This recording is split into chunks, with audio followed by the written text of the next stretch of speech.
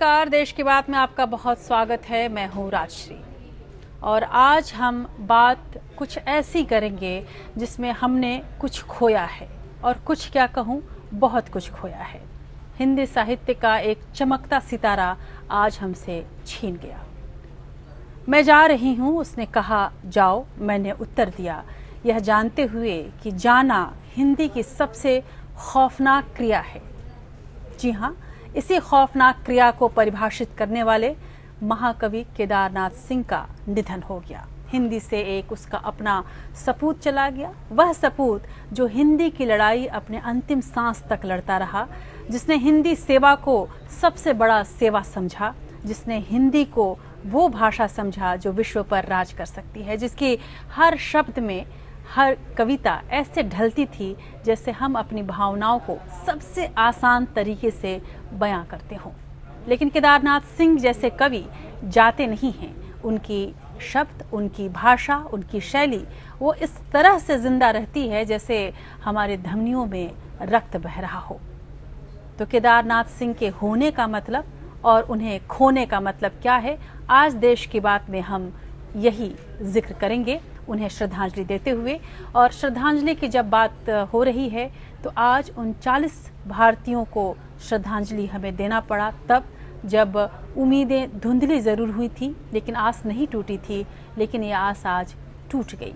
Iraq के Mosul में ISIS द्वारा अपहृत उन 40 भारतीयों की परिजनों का मानना था कि एक दिन वो लोग लौटकर ज़रूर आएँगे जो किसी के पिता, किसी की पत्नी, किसी के बहन, किसी के बेटे थे और जो अपनों के लौटने का इंतज़ार कर रहे थे। लेकिन विदेश मंत्री सुषमा स्वराज के बयान ने एक एक करके उनचालीस परिवारों की उम्मीदों को पूरी तरह से तोड़ दिया। सुषमा स्वराज भी क्या करती? ये सच था और इस सच को बताना भी ज़रूरी था। सुषमा स्वराज ने राज्यसभा में बताया कि आईएसआईएस के चंगुल में फंसे सभी भारतीयों को मार दिया गया है। 2019 चुनाव को लेकर विपक्षी एकजुटता की कवायद एक तरफ़ जारी रही वहीं दूसरी तरफ़ जब ये खबर आई तो तरह तरह के बातें होने लगी।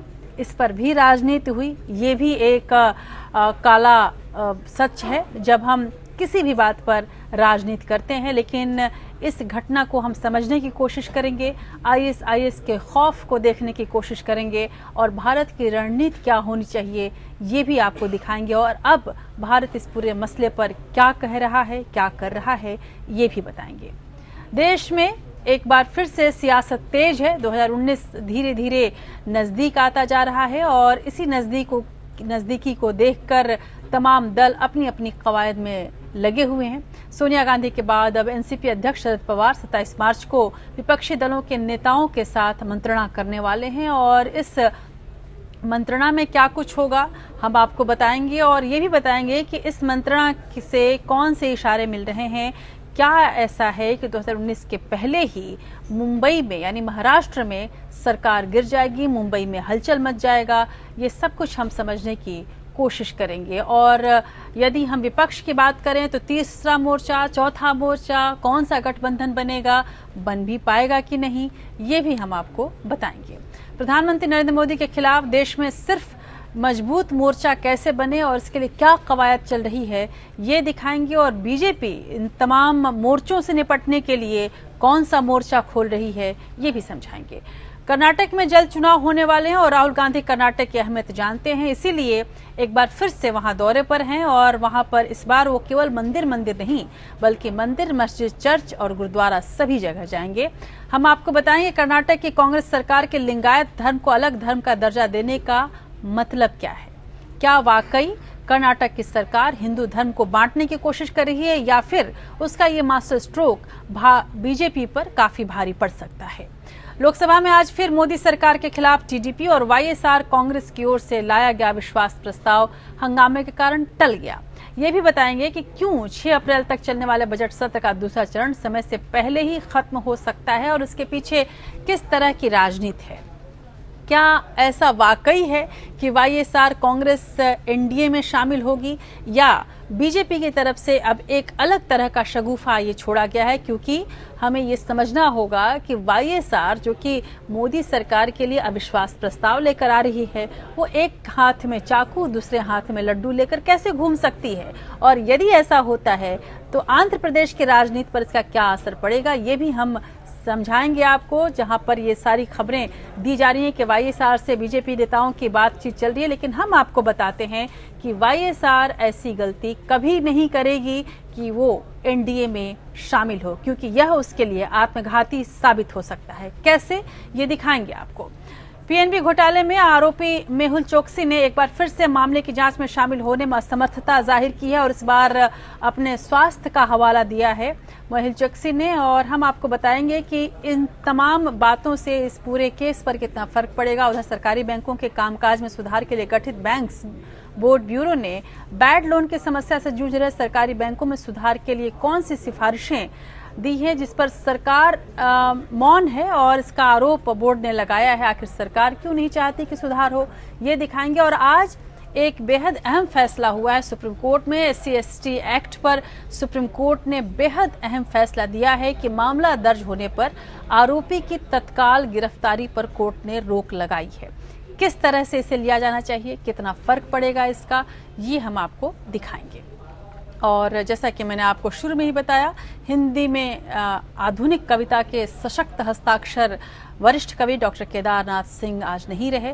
केदारनाथ सिंह से मेरा जो निजी और व्यक्तिगत संबंध था, वो संबंध कुछ ऐसे था जैसे वो मेरे लिए काका थे और काका की कुछ यादें मैं आपके साथ आज बांटूँगी। और साथ ही कानपुर से एक अच्छी खबर भी हमारे पास पहुँची है और इसका हिस्सा हम आपको दिखाएँगे। आज खबर अच्छी है अपने खास सेगमेंट में।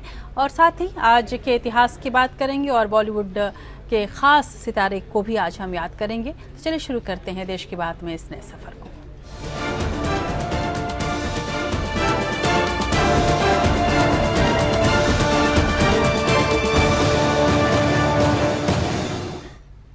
आज का संसद भी कुछ यूँ ही शुरू हुआ जैसे आम कामकाज शुरू होता है। लेकिन विदेश मंत्री सुषमा स्वराज ने आज जैसे बोलना शुरू किया एक एक करके उनचालीस परिवारों की उम्मीदें टूटती गई। उन्होंने कहा कि इराक में लापता सभी उनचालीस भारतीयों की आतंकी संगठन आईएसआईएस ने हत्या कर दी है।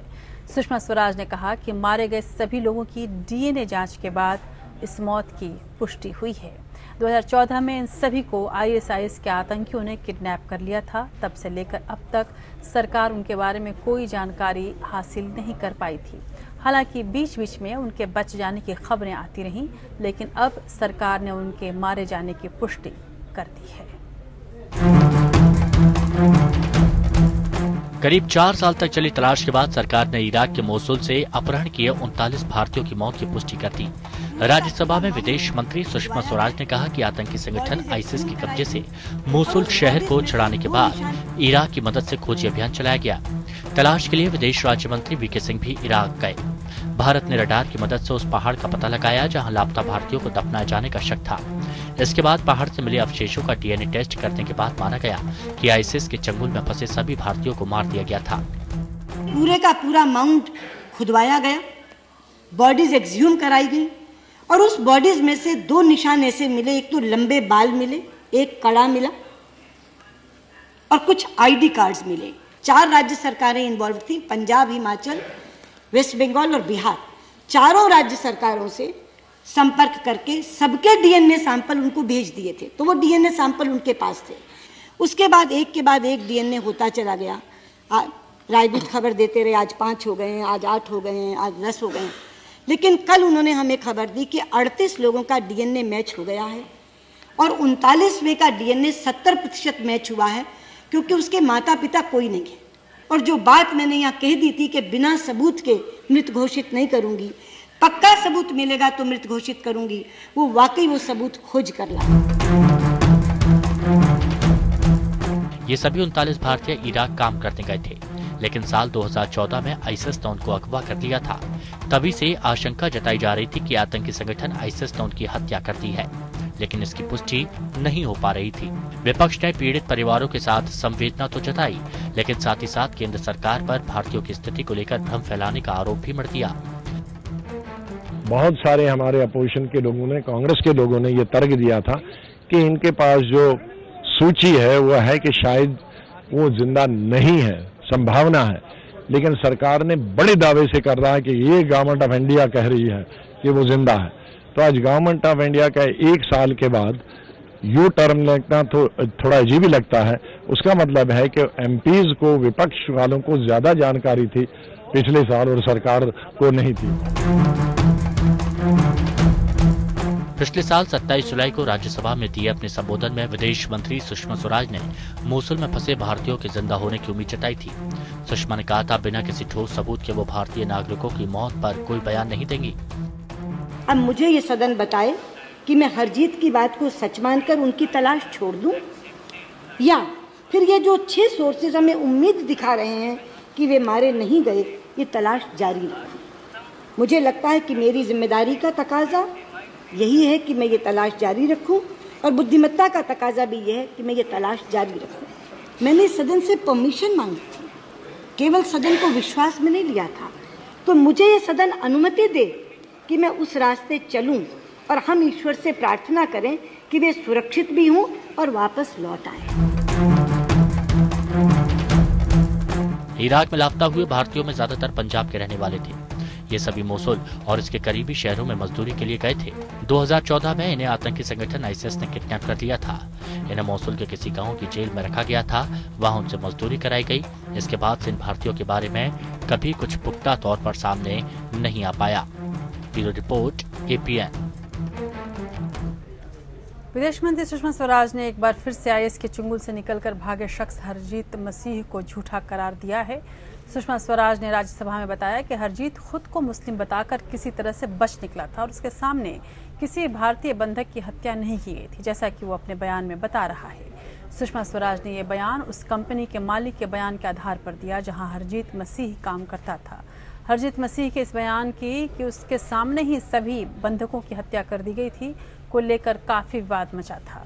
सरकार उसके बयान को दरकिनार कर बंधकों की तलाश में तब जुटी थी, जैसा कि हमने आपको दिखाया भी कि सुषमा स्वराज ने स्पष्ट किया कि इस बयान को हम बहुत ज़्यादा तवज्जो नहीं दे सकते। लेकिन अब एक बार फिर से सवाल उठने लगे हैं कि क्या सरकार जानबूझकर मोसुल में उनचालीस भारतीयों की हत्या का मामला छुपा रही थी?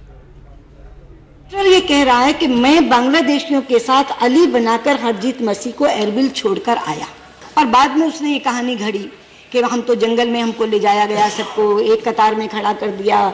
उनतालीस लोगों के सिर में गोली लगी, मेरे ही पाँव में गोली लगी, इसलिए मैं तो चला आया और वो उनतालीस लोग मारे गए। ये सारी कॉक एंड बुल स्टोरी थी, लेकिन हरजीत मसीह की कहानी सच नहीं थी। वो अली बन के पहले ही निकल गया था उस केटरर के वैन में बैठकर। ये तो हरजीत की कहानी। अब जब उन्होंने बताया कि उसके अगले दिन आईएसएस वालों ने देखा कि 40 लोग नहीं है वो रा, रोज रात को गिनती करके सोते थे ये तो उनतालीस हैं। तो उन्होंने ये निर्णय किया कि ये यहाँ रखना इनको ठीक नहीं है। तो उन्होंने आईएसआईएस के अपने कमांडर से कहा कि आप इनको बदूश ले जाओ।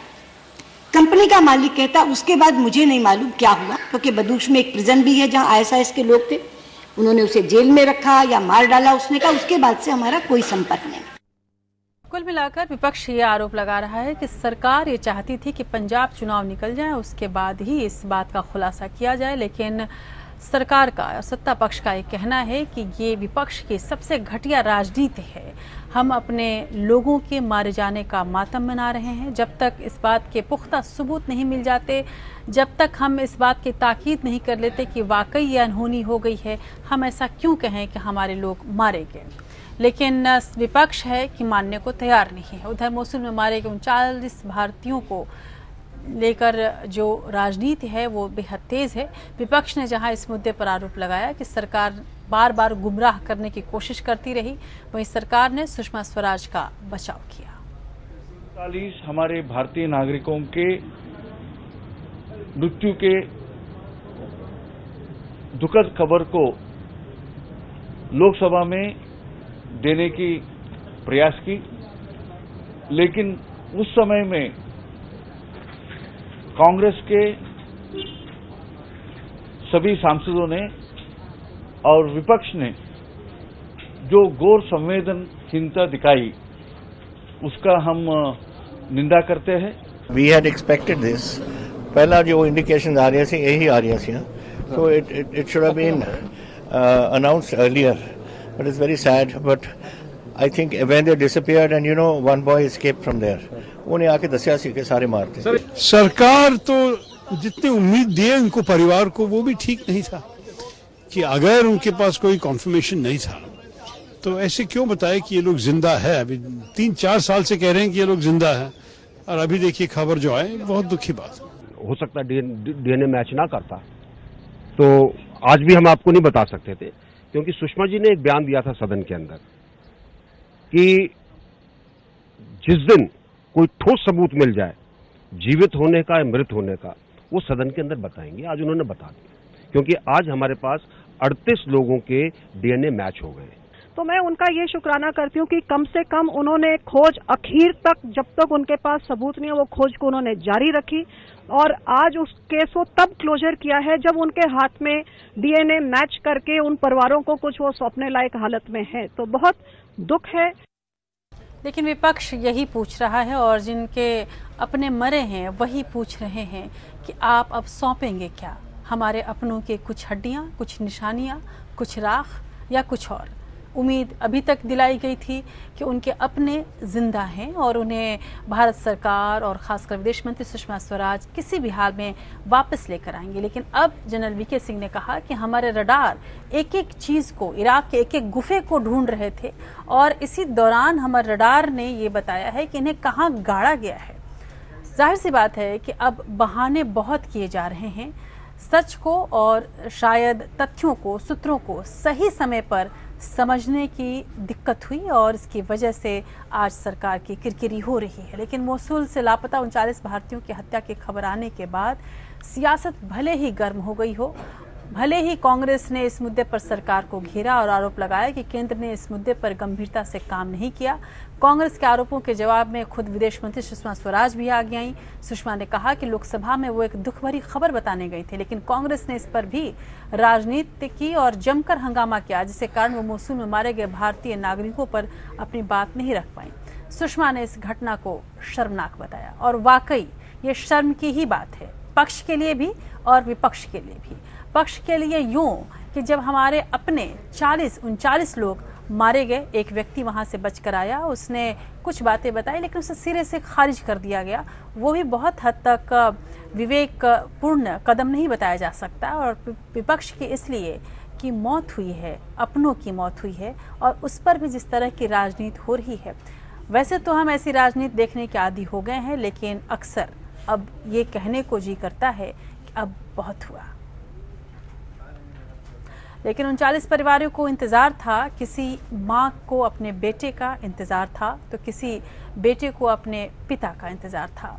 किसी बहन की आँखें टकटकी बांधे अपने भाई की राह देख रही थी, लेकिन सालों के इंतज़ार के बाद जब सुषमा स्वराज ने ये खबर दी कि अब वो नहीं रहे, उनकी मौत हो गई है तो सभी उनचालीस भारतीयों को, आतंकियों ने मौत के घाट उतार दिया है। एक एक करके सबकी उम्मीद टूट गई। इस बात की उम्मीद एक न एक दिन उनका अपना वापस आएगा। लेकिन अब ये उम्मीद ख़त्म हो चुकी है। उनकी मौत की खबर ने सबकी आँखों में आँसू ला दिया था। ये वो लोग थे जो अंतिम समय तक वहाँ काम कर रहे थे। वहाँ से मिली हुई जानकारी के अनुसार तमाम अन्य कंपनियाँ वहाँ पर बंद हो गई थी, वहाँ के मजदूर निकल कर जा चुके थे, जब उन्हें कहा गया था कि आईएसआईएस का आतंक बढ़ रहा है। लेकिन बांग्लादेश और भारतीय मजदूर वहाँ जमे रहे, क्योंकि उन्हें पता था कि लौट के आने पर भी यहाँ पर पीछे बहुत कुछ है जिसका खर्च चलाना है, बहुत कुछ है जिसके लिए खाने और पीने का इंतज़ाम करना है। इसलिए वो काम करना चाहते थे उन्हें देश में उतनी अपॉर्चुनिटी उतना मौका नहीं दिख रहा था, इसलिए वहाँ रहकर वो अपनों के लिए कमाना चाहते थे, लेकिन उनके अपनों का दर्द उनके अपनों के लिए दर्द लेकर आया है।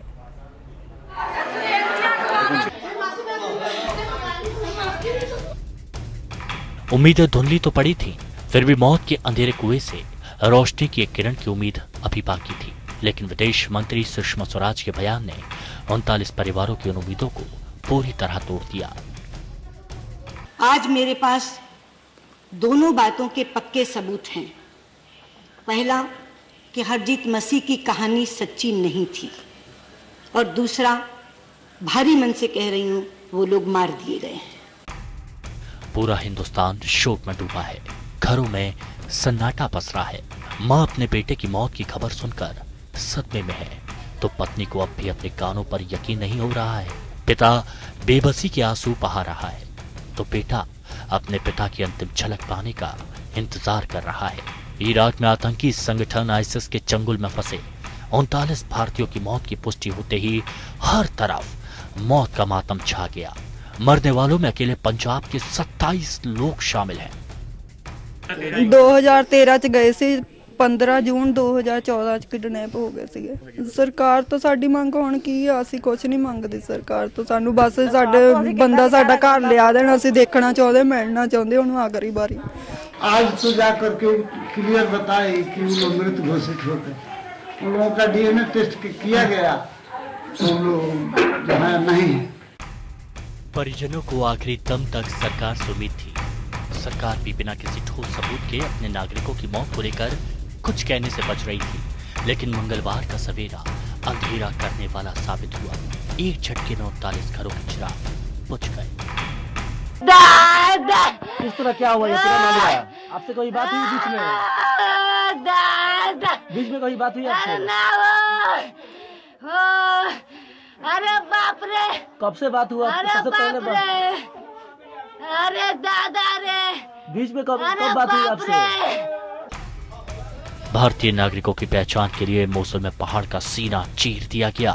लेकिन जो नतीजा निकला, वो उनतालीस परिवारों की उम्मीद पर पहाड़ गिरने से कम नहीं था।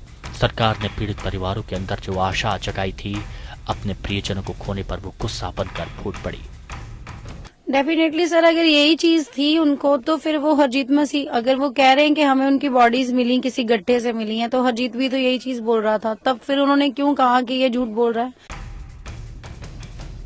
पिछले साल जब इराक के मोसुल शहर को आईसिस आतंकियों के चंगुल से मुक्त कराया गया, तब वहाँ सिर्फ़ लाशों का ढेर था और लाशों के इसी ढेर में जाकर वो तलाश खत्म हुई, जिसके लिए पिछले कई सालों से कोशिश जारी थी। मौत की खबर आने के बाद परिजनों को दोबारा देख पाने का, पीड़ित परिवारों का इंतज़ार तो खत्म हो गया है, लेकिन अपने को दोबारा देख पाने के इंतज़ार में उनके ऊपर दुख का जो पहाड़ टूटा है, इसकी भरपाई कर पाना मुमकिन नहीं है। ब्यूरो रिपोर्ट एपीएन उधर सियासत अपने रॉ में बह रही है। मोदी सरकार के खिलाफ लोकसभा में जोरदार हंगामे के कारण मंगलवार को भी अविश्वास प्रस्ताव पेश नहीं हो सका। वहीं कई पार्टियों का रुख अविश्वास प्रस्ताव के समर्थन को लेकर अब तक साफ़ नहीं है। अविश्वास प्रस्ताव के मुद्दे पर वाईएसआर कांग्रेस के सांसदों ने लोकसभा स्पीकर सुमित्रा महाजन से उनके ऑफ़िस में मुलाकात की। खबर ये भी है कि सरकार वक्त से पहले ही सत्र समाप्ति की घोषणा कर सकती है। मोदी सरकार के खिलाफ टीडीपी और वाईएसआर कांग्रेस की ओर से लाया गया अविश्वास प्रस्ताव विपक्ष के हंगामे के कारण एक बार फिर टल गया।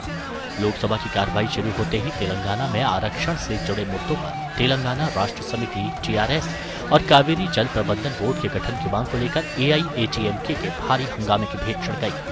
वो लोग ऐसे बोल रहे हैं कि नो कॉन्फिडेंस मोशन से हमें कोई डर नहीं है, हम रेडी है फेस करने के लिए, चर्चा के लिए रेडी हैं। तो उसी रेस्पॉन्सिबिलिटी जिस रेस्पॉन्सिबिलिटी के साथ वो बोल रहे हैं कि हम चर्चा के लिए रेडी है, उसी रेस्पॉन्सिबिलिटी के साथ उनको वो जो वेल में आ रहे हैं, जो पार्टीज़ आंदोलन जो कर रहे हैं, वो भी तो केंद्र सरकार के प्रति कर रहे हैं। तो उनको बिठा के, उनके मामले सुलझा के उसके बाद बोलना चाहिए कि हम रेडी है नो कॉन्फिडेंस मोशन के लिए। नहीं तो ऐसा लग रहा है वो सिर्फ़ ड्रामा ही कर रहे हैं।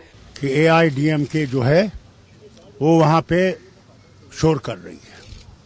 आज तक तो उनने कावरी के बारे में शोर नहीं किया, जब सेशन चल रहा था। आज क्यों वो कर रहे हैं, मुझे समझ नहीं आती है। या तो वो मिले हुए हैं, नहीं चाहते हैं कि यह प्रस्ताव आए, और हुकूमत उनको इस्तेमाल कर रही है। ये भी एक बात हो सकती है। बजट सत्र के दूसरे चरण के 5 मार्च से शुरू होने के बाद से लोकसभा की कार्रवाई पीएनबी धोखाधड़ी मामले, आंध्र प्रदेश के लिए विशेष दर्जे की मांग और तेलंगाना में आरक्षण के मुद्दे को लेकर लगातार बारहवें दिन बाधित रही इसके कारण केंद्र सरकार के खिलाफ टीडीपी और वाईएसआर कांग्रेस का विश्वास प्रस्ताव फिर आगे नहीं बढ़ सका।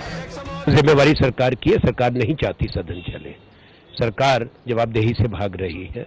विशेष तौर पे जो बैंक लूटे गए हैं, जो एक बड़ा बैंक फ्रॉड हुआ है, इनकी निगरानी में हुआ है, और जो लोग थे वो सरकार के नज़दीक थे, प्रधानमंत्री के नज़दीक थे, वो स्पष्ट है, वरना वो व्यक्ति जो देश से भाग जाए बैंक लूट के, वो डेवॉस में प्रधानमंत्री के साथ तस्वीर में शामिल हो और प्रधानमंत्री के घर के कार्यक्रमों में ये लोग मेहुल चौकसी और ये लोग शामिल हो तो इसकी जवाबदेही कौन देगा? सरकार देगी।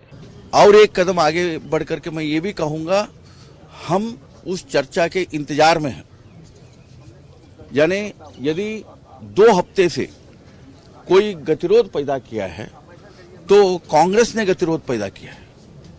कांग्रेस ने दोनों सदनों में अड़चन पैदा किया है। हम हर विषय के बारे में चर्चा के लिए तैयार है। संसद के बजट सत्र का दूसरा चरण 6 अप्रैल तक चल रहा है। लेकिन इस बीच खबर ये भी है कि सरकार वक्त से पहले ही संसद सत्र समाप्ति की घोषणा कर सकती है। इसके कई कारण एक तो सरकार नहीं चाहती कि अविश्वास प्रस्ताव के बहाने विपक्ष को एकजुट होने का मौका मिले। तो वहीं 23 मार्च को होने वाले राज्यसभा चुनाव को देखते हुए भी सरकार संसद की कार्रवाई को जल्द खत्म करने के मूड में है। इसके साथ ही समाज सेवी अन्ना हजारे भी किसानों की मांगों को लेकर मोदी सरकार के खिलाफ महाधरने की तैयारी में है। तेईस मार्च से ही दिल्ली के रामलीला मैदान पर वो ताल ठोकेंगे। ज़ाहिर है कि विपक्ष इस पर उनका समर्थन करेगा। ऐसे में बीजेपी नहीं चाहेगी कि उसके खिलाफ कोई विपक्षी को किसी तरह की मजबूती मिले। ब्यूरो रिपोर्ट एपीएन तो एक और जहाँ वाईएसआर कांग्रेस मोदी सरकार के खिलाफ अविश्वास प्रस्ताव ला रही है तो वहीं दूसरी ओर उसके एनडीए के करीब जाने की भी खबर उड़ाई जा रही है। दरअसल, वाईएसआर कांग्रेस की महासचिव लक्ष्मी पार्वती ने केंद्रीय मंत्री रामदास अठावले से आंध्र प्रदेश को विशेष राज्य का दर्जा दिलाने के संबंध में मुलाकात की, जिसके बाद इस खबर ने ज़ोर पकड़ा कि अठावले वाईएसआर कांग्रेस के अध्यक्ष जगन रेड्डी से एनडीए के साथ आने की बात कर सकते हैं। हालाँकि, अगर ऐसा हुआ तो ये जगन रेड्डी और उनकी पार्टी के लिए आत्मघाती होगा, क्योंकि इस वक्त आंध्र प्रदेश में सबसे बड़ा मसला उसे विशेष राज्य का दर्जा दिलाना है और वाईएसआर अभी तक इस बात के लिए अड़ा हुआ था, लेकिन यदि वो इस वक्त, यानी कि लोकसभा चुनाव के ठीक लगभग आठ नौ महीने पहले हाथ मिलाता है एनडीए से तो उसके हाथ तो कुछ नहीं आएगा, उसके हाथ से बहुत कुछ फिसल ज़रूर जाएगा। आंध्र प्रदेश को विशेष राज्य का दर्जा नहीं देने से नाराज़ चंद्रबाबू नायडू की तेलुगु देशम पार्टी के एनडीए से अलग होते ही बीजेपी राज्य में दूसरा साथी तलाश कर रही है।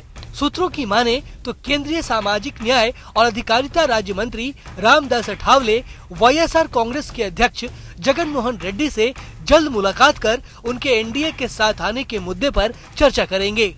दरअसल सोमवार को वाईएसआर कांग्रेस की महासचिव और आंध्र के पूर्व मुख्यमंत्री एनटी रामाराव की पत्नी लक्ष्मी पार्वती ने अठावले से मुलाकात की उनसे अनुरोध किया कि वो 2019 के चुनाव से पहले आंध्र प्रदेश को विशेष राज्य का दर्जा देने की पार्टी की मांग को प्रधानमंत्री नरेंद्र मोदी तक पहुंचाएँ। अब इसी मुलाकात को आगे बढ़ाते हुए अठावले वाईएसआर कांग्रेस के अध्यक्ष जगन मोहन से एनडीए के साथ आने के मुद्दे पर चर्चा करेंगे वैसे ऐसी अटकलें भी लगाई जा रही हैं कि जगन मोहन रेड्डी की पार्टी आगामी लोकसभा चुनाव बीजेपी के साथ मिलकर लड़ सकती है। वैसे राजनीति के जानकारों का मानना है कि आंध्र प्रदेश को विशेष राज्य का दर्जा का मुद्दा उठाने वाली वाईएसआर कांग्रेस किसी भी कीमत पर एनडीए के साथ नहीं जाएगी। ऐसा करने पर यह उसकी राजनीतिक आत्महत्या से कम नहीं होगा और वो बैठे बिठाए टीडीपी को एक बड़ा मुद्दा दे देगी। और राज्य के लोगों के बीच अपना जनाधार भी खो देगी। ब्यूरो रिपोर्ट एपीएन इस बीच चंद्रबाबू नायडू ने कहा है कि मैं तो आंध्र प्रदेश के लोगों के अधिकार की बात कर रहा हूँ। हमें हमारा अधिकार क्यों नहीं मिलेगा और क्यों नहीं मिलना चाहिए? और इसके लिए जो लड़ाई लड़नी है, वो मैं लड़ूँगा। यानी कि अब आंध्र प्रदेश को विशेष दर्जा दिलाने का जो मसला है, वो एक ऐसा मसला है जो आने वाले दिनों में इस राज्य की राजनीति भी तय करेगा और यहाँ के दलों की भी राजनीति तय करेगा कि ये दल किसके साथ जाएँगे, किसके विरोध में खड़ा होंगे। साथ और विरोध की बात चल रही है तो एनसीपी के प्रमुख शरद पवार 2019 लोकसभा चुनाव को देखते हुए मोदी सरकार के खिलाफ विपक्षी एकजुटता की कोशिशों को और तेज करना चाह रहे हैं। कांग्रेस के शीर्ष नेता सोनिया गांधी के डिनर डिप्लोमेसी के बाद विपक्ष के बड़े नेता अब एनसीपी सुप्रीमो शरद पवार के घर जुटने वाले हैं और शरद पवार अब एक ऐसी चाल चलने वाले हैं जिसकी वजह से देवेंद्र फडणवीस की सरकार भी खतरे में पड़ सकती है और इसके इशारे एनसीपी पहले भी कर चुकी है। देखिए रिपोर्ट। एनसीपी अध्यक्ष शरद पवार 27 मार्च को विपक्षी दलों के नेताओं के साथ मंत्रणा करने वाले हैं। सूत्रों के मुताबिक, इस बैठक के लिए कांग्रेस, तृणमूल कांग्रेस, एसपी, तेलुगु देशम, टीआरएस और बीजेडी जैसे दलों को प्रमुखता से न्योता भेजा गया है। शरद पवार की कोशिश है कि मौजूदा स्थिति में प्रधानमंत्री नरेंद्र मोदी के खिलाफ देश में सिर्फ़ एक मज़बूत मोर्चा बनाया जाए। वो नहीं चाहते कि देश में कोई तीसरा या चौथा मोर्चा बने, क्योंकि ऐसे किसी मोर्चे से बीजेपी को ही फ़ायदा मिलेगा। लिहाजा शरद पवार के निशाने पर वैसे दल हैं जो इस वक्त कांग्रेस के नेतृत्व में विपक्षी गोलबंदी बनाने से ज़्यादा रुचि तीसरा मोर्चा बनाने में दिखा रहे हैं। तेलंगाना के मुख्यमंत्री के चंद्रशेखर राव सोमवार को पश्चिम बंगाल के सीएम ममता बनर्जी से मिले थे। दोनों ने 2019 के लोकसभा चुनाव से पहले बीजेपी और कांग्रेस से अलग तीसरा मोर्चा गठित करने की संभावनाओं पर बात की। राव ने इस बैठक को फेडरल फ्रंट की दिशा में उठाया गया कदम बताया। उन्होंने कहा कि ये राजनीतिक दलों का नहीं, बल्कि जनता का मोर्चा होगा। इससे पहले आंध्र प्रदेश के मुख्यमंत्री एन चंद्रबाबू नायडू ने भी ममता से फ़ोन पर बात की थी। दरअसल एनडीए का साथ छोड़ने के बावजूद तेलुगु देशम सोनिया गांधी के डिनर से दूर रही थी। तो वहीं बीजेडी अध्यक्ष और ओडिशा के मुख्यमंत्री नवीन पटनायक भी कांग्रेस की अगुवाई वाले मंच से परहेज करते रहे हैं। चूँकि इन सभी दलों के प्रमुखों से शरद पवार के अच्छे रिश्ते हैं, लिहाजा शरद पवार ने अपनी मुहिम तेज कर दी है। मोदी सरकार की शुरू से धुर विरोधी रही ममता बनर्जी भी मानती हैं कि अगर विपक्ष एकजुट नहीं होता है तो 2019 के आम चुनाव में बीजेपी को हराना मुश्किल होगा। लेकिन पश्चिम बंगाल के चुनावों में कांग्रेस का टीएमसी को छोड़ वामपंथियों के साथ तालमेल करने को ममता भूल नहीं पाई है। और इसीलिए वो गैर बीजेपी और गैर कांग्रेस फ्रंट की बात कर रही हैं। शरद पवार एक मंझे हुए नेता हैं। और वो जानते हैं कि एकजुट विपक्ष ही मोदी की बीजेपी को चुनौती दे सकता है और विपक्ष की गोलबंदी का अब समय आ गया है। ब्यूरो रिपोर्ट एपीएन कांग्रेस अध्यक्ष राहुल गांधी आज से दो दिन के कर्नाटक दौरे पर रहे। राहुल दक्षिणी कर्नाटक और मलनाड के वक्का लिगा कम्युनिटी के प्रभाव वाले इलाकों में पहुँचे हुए हैं।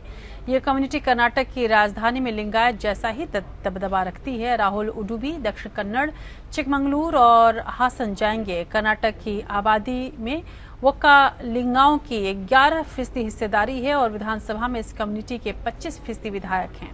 राज्य की 100 सीटों पर लिंगायत और 80 सीटों पर वोकालिंगा कम्युनिटी असर डालती है। राहुल अपनी यात्रा के दौरान धार्मिक स्थलों का भी दौरा जारी रखेंगे। वे गोरखनाथेश्वर मंदिर, रोसारियो चर्च, उल्लाह दरगाह, श्रृंगेरी शरदम्बा मंदिर और श्रृंगेरी मठ भी जाएँगे। वह जगत गुरु शंकराचार्य और श्रृंगेरी मठ के भारतीय तीर्थ स्वामी जी से भी मुलाकात करने वाले हैं।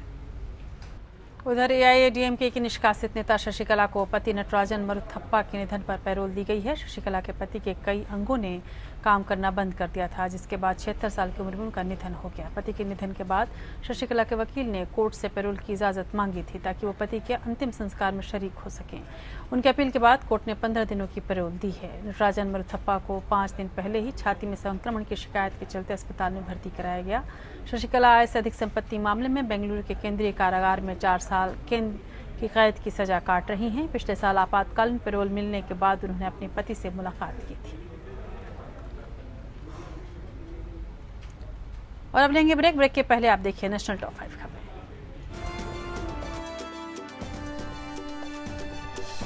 गोवा कांग्रेस पार्टी यूनिट के अध्यक्ष शांताराम नाइक ने अपने पद से इस्तीफा दे दिया है। उन्होंने अपना इस्तीफा पार्टी अध्यक्ष राहुल गांधी और सोनिया गांधी को भेजा है। नाइक ने कहा कि वो कांग्रेस के चौरासीवें महाधिवेशन में राहुल गांधी की उस स्पीच से प्रभावित हुए हैं, जिसमें उन्होंने युवाओं के आगे आने की वकालत की थी। उन्होंने ये भी कहा कि वो सिर्फ़ गोवा कांग्रेस प्रमुख के पद से इस्तीफा दे रहे हैं, न कि कांग्रेस से। विश्व हिंदू परिषद की ओर से आयोजित राम राज्य रथ यात्रा तमिलनाडु पहुँच चुकी है, लेकिन तिरुनेलवल्ली में इस रथ यात्रा के पहुँचने से पहले इसे भारी विरोध का सामना करना पड़ रहा है। एहतियातन प्रशासन ने तिरुनेलवल्ली में धारा एक सौ चौवालीस लागू कर दी है। वहीं डीएम के नेता एम के स्टालिन ने कहा है कि इस रथ यात्रा से राज्य में सांप्रदायिक सौहार्द खराब होने की आशंका है। इस पर फ़ौरन रोक लगनी चाहिए। ओडिशा झारखंड बॉर्डर पर भारतीय वायुसेना का प्लेन क्रैश हो गया। ये प्लेन महुल दानगिरी गाँव में क्रैश किया है। पायलट की हालत गंभीर बताई जा रही है। वायुसेना के प्लेन क्रैश होने के कई मामले सामने आ चुके हैं। यह हादसा दोपहर करीब बारह बजकर पैंतालीस मिनट पर हुआ। उत्तर प्रदेश की राजधानी लखनऊ में बुधेश्वर के पास पुल से ट्रैक्टर ट्रॉली नीचे गिरने से सात लोगों की मौत हो गई, जबकि 45 लोग घायल हो गए। सभी पीड़ित बाराबंकी के पास देवा शरीफ से दर्शन करके ट्रैक्टर ट्रॉली में वापस जा रहे थे। घायलों को केजीएमयू के ट्रॉमा सेंटर में भर्ती कराया गया है।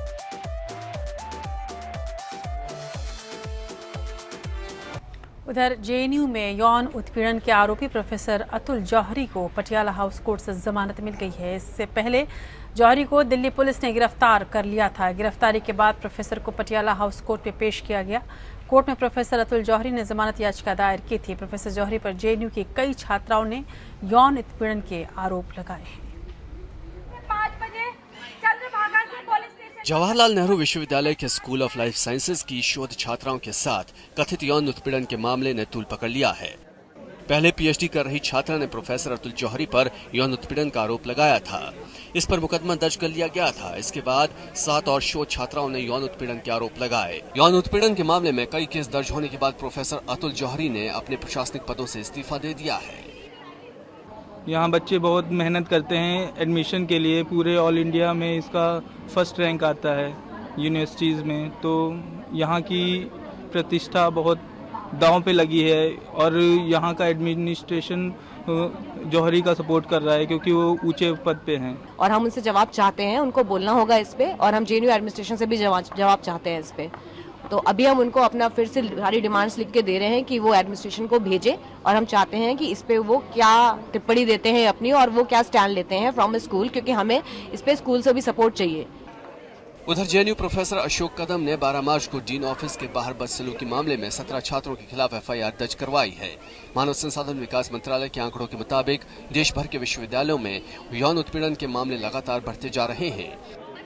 साल 2016-17 में विश्वविद्यालयों से कुल एक सौ उनचास ऐसे मामले सामने आए हैं, जबकि अलग अलग कॉलेजों से उनतालीस मामले सामने आए। साल 2015-16 में देश के अलग अलग विश्वविद्यालयों में चौरानवे मामले सामने आए थे और अलग अलग कॉलेजों में यौन उत्पीड़न के 18 मामले हुए थे।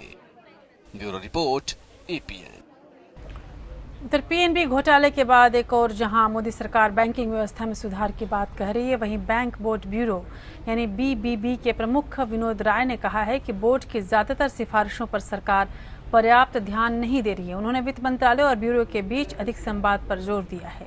पूर्व नियंत्रक और महालेखा परीक्षक विनोद राय ने बोर्ड को अधिक अधिकार दिए जाने की ज़रूरत बताई है। उन्होंने कहा कि अपने गठन के बाद से बीबीबी सिर्फ़ एक नियुक्ति बोर्ड के रूप में ही काम कर रहा है। राय का यह बयान ऐसे समय में आया जबकि भारतीय रिज़र्व बैंक ने भी बैंकिंग प्रणाली में धोखाधड़ी से निपटने के लिए अधिक अधिकारों की मांग की है। उधर विनोद राय खुद भी कई आरोपों से घिरते हुए नज़र आ रहे हैं, खासकर टू मामले में। तो अनुसूचित जाति और अनुसूचित जनजाति अत्याचार निवारण अधिनियम उन्नीस सौ नवासी को लेकर सुप्रीम कोर्ट ने अहम फैसला दिया है। सुप्रीम कोर्ट ने अपने फैसले में कहा है कि ऐसे मामलों में अब अपने आप गिरफ्तारी नहीं होगी, बल्कि गिरफ्तारी से पहले आरोपों की जाँच ज़रूरी होगी और गिरफ्तारी से पहले अग्रिम जमानत भी ली जा सकती है। अनुसूचित जाति और अनुसूचित जनजाति के लोगों को संरक्षण देने के लिए बने एस सी एक्ट 1989 को लेकर सुप्रीम कोर्ट ने माना है कि इस एक्ट का दुरुपयोग हो रहा है। दुरुपयोग को रोकने के लिए अब सुप्रीम कोर्ट ने कई दिशा निर्देश दिए हैं। सुप्रीम कोर्ट ने कहा कि एक्ट के तहत मामले में तुरंत कोई गिरफ्तारी नहीं होगी।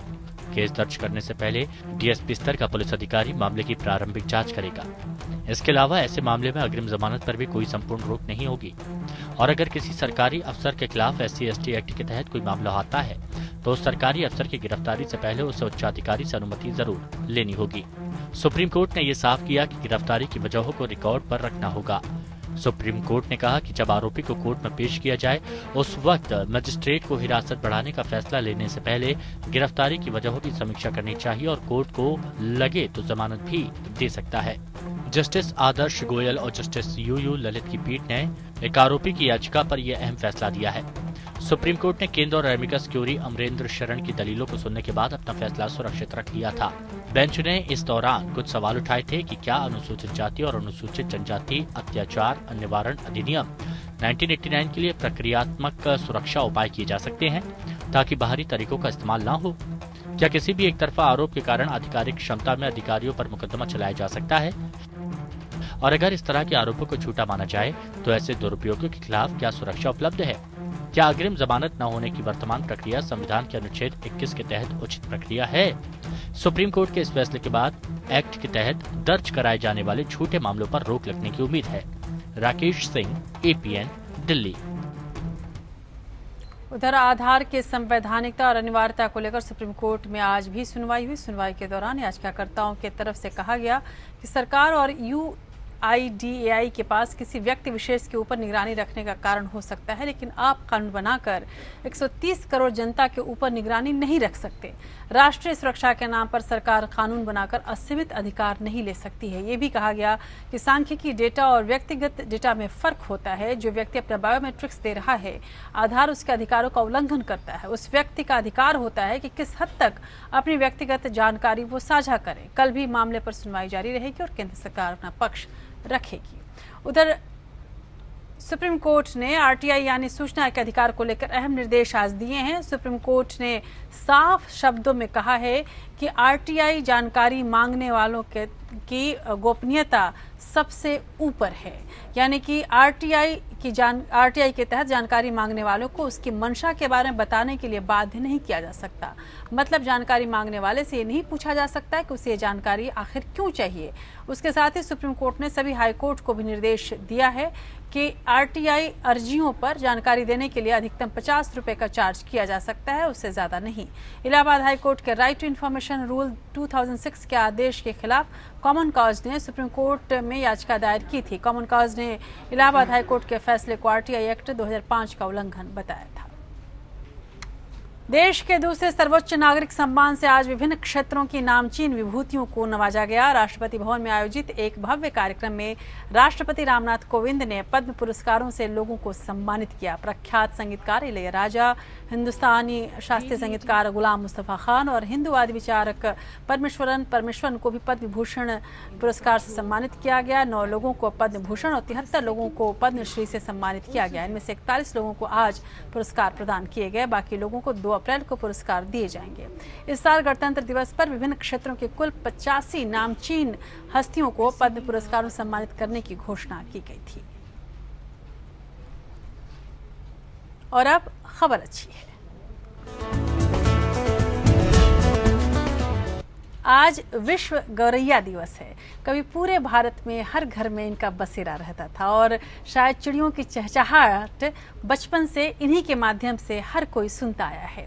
लेकिन आज गौरैया विलुप्त होने के कगार पर है। इन्हें बचाने के लिए तमाम प्रयास किए जा रहे हैं। लोग अपने स्तर पर भी इन्हें बचाने की मुहिम से जुड़े हैं। गौरैया को बचाने की ज़िम्मेदारी कानपुर के किदवई नगर में रहने वाले रिटायर्ड बैंक कर्मी प्रकाश धवन ने भी संभाल रखी है। उनकी ये ज़िम्मेदारी वो कैसे निभा रहे हैं, देखिए इस खास रिपोर्ट में। कभी खुले आँगन में चहकने वाली, घरों में घोंसला बनाकर रहने वाली, पूरी निडरता के साथ लोगों के बीच खाने और फुदकने वाली गौरैया को देखना आज के दौर में लगभग नामुमकिन हो गया है। ईट पत्थर से बने घर, बंद दरवाजे और खत्म होते झरोखों के कारण इनका घर छिन गया है। मुंडेर और ताकों का गुम होना भी गौरैया के खत्म होने का बड़ा कारण है। लेकिन कानपुर के किदवई नगर के रहने वाले प्रकाश धवन ने गौरैया को एक बार फिर उसका आशियाना देने की मुहिम छेड़ी है। गौरैया जो है, विलुप्त हो रही थी, जिसके लिए हमने प्रयास किया और घर में बहुत सारे घोंसले लगाए, उनको दाना पानी दिया। रिटायर्ड बैंक कर्मी प्रकाश धवन ने अपने घर और आसपास बड़ी संख्या में घोंसले बना रखे हैं, जिनमें हर वक्त दाना पानी मौजूद रहता है। उनका पूरा परिवार इन पक्षियों की देखरेख में लगा रहता है। साल 2010 में गौरैया के लिए उनके मन में प्यार जागा और तब से लेकर अब तक वो विलुप्ति की कगार पर पहुँची गौरैया को बचाने की मुहिम में जुटे हैं। इस समय मेरे यहाँ बहुत सारी चिड़िया डिफरेंट टाइप की चिड़िया, करीब दो ढाई हज़ार तक भी आती हैं। आज प्रकाश धवन के घर हर दिन बड़ी संख्या में गौरैया और तमाम दूसरे पक्षी दाने और पानी के लिए पहुँचते हैं। कंक्रीट के जंगल में बदल चुके शहर में उनका ये घर तमाम तरह के पक्षियों का एक बड़ा आशियाना है। विलुप्त हो रही गौरैया को बचाने में प्रकाश धवन और उनके परिवार का योगदान सराहनीय है। दुर्गेश मिश्रा, कानपुर एपीएन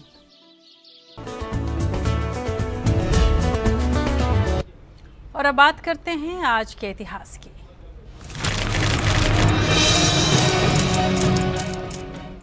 बीस मार्च उन्नीस में लंदन वेस्ट मिनिस्टर के सेंट्रल हॉल में प्रदर्शनी प्रदर्शनी के लिए रखा गया फुटबॉल वर्ल्ड कप किसी ने चोरी कर लिया था। तीस हज़ार पाउंड की कीमत वाली ट्रॉफी उस वक्त गायब हुई, जब भवन के दूसरे हिस्से में एक प्रार्थना सभा चल रही थी। और 20 मार्च उन्नीस सौ सतासी में आज के दिन ही अमेरिका के फ़ूड एंड ड्रग एडमिनिस्ट्रेशन ने ए जेड टी यानी एजिडो थाइमिडाइन को एच और एड्स के इलाज के लिए इस्तेमाल करने की मंजूरी दी थी। इसके इस्तेमाल से एचआईवी और एड्स पीड़ित मरीज़, मरीजों की ज़िंदगी लंबी हुई। साल उन्नीस में डॉक्टर जेरोमी हॉर्विट्स ने इसे कैंसर की दवा के तौर पर तैयार किया था। और दुख हूँ मैं एक नए हिंदी कवि का। बांधो मुझे बांधो कहाँ बांधोगे? किस लय किस छंद में? क्या जीवन इसी तरह बीतेगा? शब्दों से शब्दों तक जीने और जीने और जीने और जीने के लगातार द्वंद में। हिंदी में आधुनिक कविता के सशक्त हस्ताक्षर वरिष्ठ कवि डॉक्टर केदारनाथ सिंह के ये शब्द हैं। अब ये शब्द चुप हैं और मौन हैं। सोमवार रात नौ बजकर दस मिनट में उनका एम्स में निधन हो गया। केदारनाथ सिंह को करीब डेढ़ महीने पहले कोलकाता में निमोनिया हो गया था। केदारनाथ सिंह की कविताओं में शहर और गाँव बराबर दिखते रहे। वो कहते भी थे कि मैंने जो गाँव से अर्जित किया, उसे साहित्य में खर्च कर रहा हूँ। जो शहरों में मैंने सुना, समझा, पाया, उसे शब्दों के माध्यम में बाँध रहा हूँ। आज जब हिंदी साहित्य अपने बदलाव के लिए बेचैन है, उनका जाना हिंदी साहित्य के लिए एक ऐसा नुकसान है, जिसे शायद ही कभी भरा जा सके। और केदार काका जिन्हें मैं प्यार से कहा करती थी उनके शब्दों में कहूँ तो उनका जाना वाकई हिंदी के लिए एक खौफनाक प्रक्रिया है। केदारनाथ सिंह को श्रद्धांजलि देते हुए आप ये रिपोर्ट देखें। मैं जा रही हूँ उसने कहा।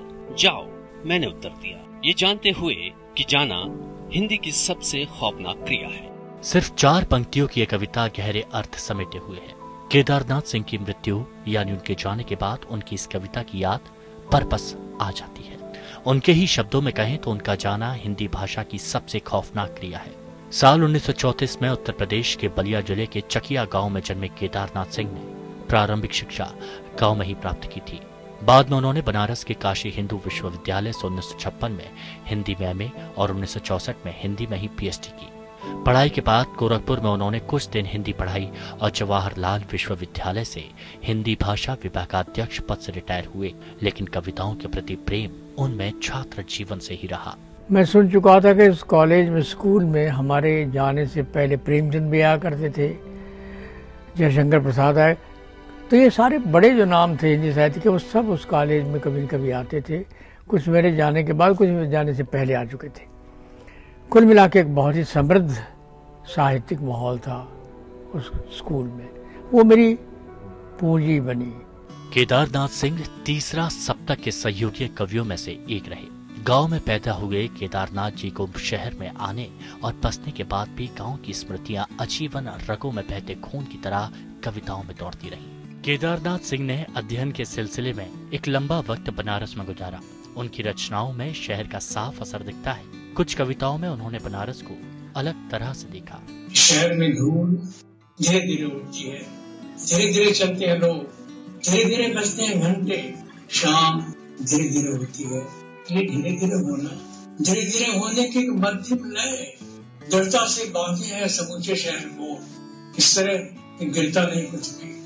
कि गंगा वही है, कि वहीं पर है नाव। कि वहीं पर रखी है तुलसीदास की खड़ा सैकड़ों बरस से साल 2013 में भारतीय ज्ञानपीठ द्वारा केदारनाथ सिंह की सेवाओं के लिए उन्हें साहित्य के सबसे बड़े सम्मान ज्ञानपीठ पुरस्कार से सम्मानित किया गया। उन्हें इसके अलावा साहित्य अकादमी पुरस्कार और व्यास सम्मान सहित कई सम्मानों से पुरस्कृत किया गया था।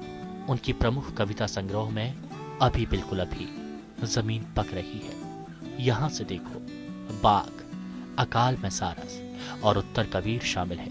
केदारनाथ जी अपने पीछे एक भरा पूरा परिवार। छोड़ गए हैं। एपीएन परिवार की ओर से उन्हें भावभीनी श्रद्धांजलि। देश की बात में आज बस इतना ही। आप देखते रहिए एपीएन नमस्कार।